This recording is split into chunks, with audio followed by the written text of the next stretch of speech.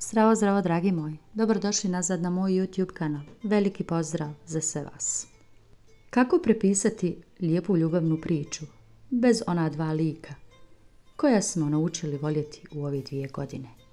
Ja odgovaram, nema šansi. Ova magija koja postoji u ovim pogledima, koji govori sve bez jedne riječi, nema načina da se ubije ili zamijeni. Simbol beskonačnosti, magnet i željezo. Kušnje kroz koji su prošli, samo su ljubav učinili jačom. Koja je svrha da ne završi onako kako zaslužuju? Vidjeli smo da imaju sve, da budu spektakularno, unutoč te dvije loše određene sezone.